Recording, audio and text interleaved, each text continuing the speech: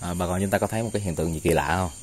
Ở trên này màu trắng đen á là cái con à, uh, CBR Pro 40 nha. Tại vì nãy mà mình tắt để mình quay cái video bên kia nên mình chưa có bật lên lại và nó bật lên khúc này thì nó bị hiểu là nó trắng đen rồi. Vô tình ấy mình mở lên mình thấy được cái con uh, cho bà con thấy nè con à, uh, C3 Pro 20 nè. Đây cái đèn nhấp nháy là đang của con C8C nha. Bà con thấy mình đang đứng vào một cái vùng gì? mình tưởng là ở đây là con cái bảng gì đó nó nó nó sáng và mình che lại nó sẽ không bị cái hiện tượng này. Nhưng mà không phải mình cũng không biết đang bị gì luôn.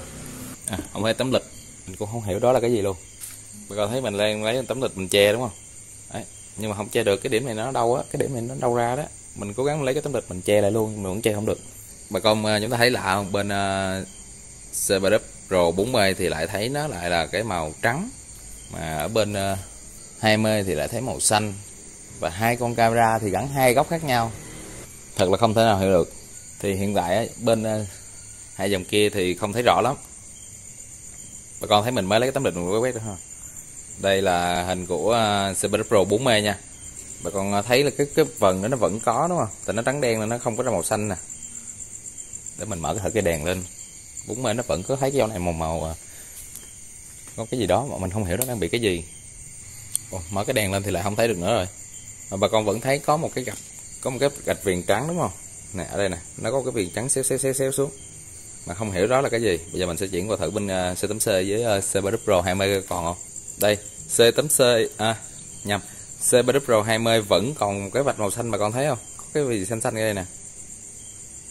Mình mình mở đèn được. Bây giờ mình lấy tấm địch mình che lại lần nữa cho bà con coi nè. Đấy nó rọi lên tấm địch luôn. Chứ không phải là là là, là, là ánh sáng nó rọi vào đâu rồi nó phản ngược lại ra vậy. Mà nó là nó rọi trực tiếp lên tấm địch luôn. Bên C 3 Pro 20 này thấy thôi. Đây cái hình nhỏ là bà con có thể thấy ha. À, C3 Pro à, cũng không cho mình zoom lên đây ta.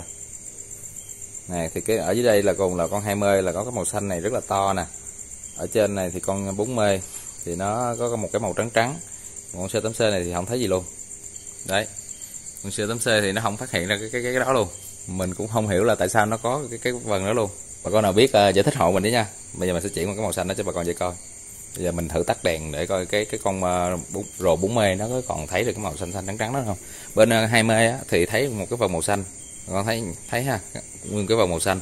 Còn con 40 á, thì nó thấy một cái phần màu trắng. Còn con C8C thì lại không thấy gì hết. Con C8C này thôi thì uh, không chơi rồi. Mình đang đợi cái chính đang nhấp nháy đèn đó mình nói Đấy, bà con nào mà rành à, giải thích cho mình cái hiện tượng này nha. Thực sự là mình không biết lý do tại sao luôn đó.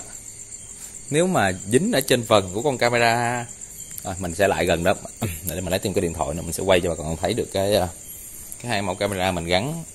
Nó lệch nha có tí xíu à. Và nếu mà dính trên mắt thì nó dính chỉ một con thôi chứ đâu thế nào mà dính lần hai con như thế này. Mà hai con thì lệch góc nhau nữa đâu có nằm chung góc đâu mà lại có thể mà thấy được cùng một cái địa điểm đó bà con công nhận không? Mình không thể nào gắn chồng hai con camera lên một chỗ được. Đây bà con có thể thấy cái một cái hai cái chấm xanh xanh đó đó. Một cái chấm xanh đó là bên trái này là con ờ, uh, 20 và cái con chấm xanh trong này là con ờ, uh, 40 và con siêu tấm c thì nằm đây.